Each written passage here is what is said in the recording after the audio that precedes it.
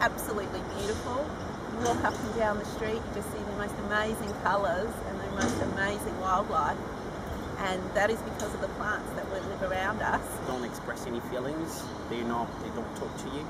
And if you see at that tree, whatever the consequences of the environment, um, temperature, water, they actually don't talk.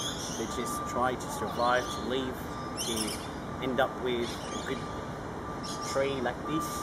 I like plants because they're tough, they can't run away like animals. Not only a lot of uh, interesting biology going on there, but also it provide out provide us food. Food is very important.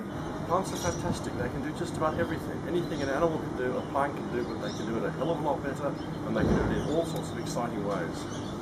I like working on plants because they're really easy to handle and they don't scream when I do experiments on them.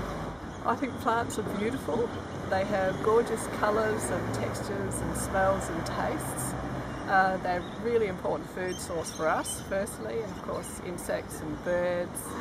I like plants because they're important, they're fun, they feed the world.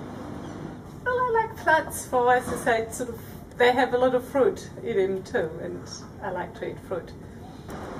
I love working in crop research in particular because it's um, it's really rewarding to work in a field that you know is going to help the future of the world and um, hopefully provide more food for the people of the world to live happily and healthily.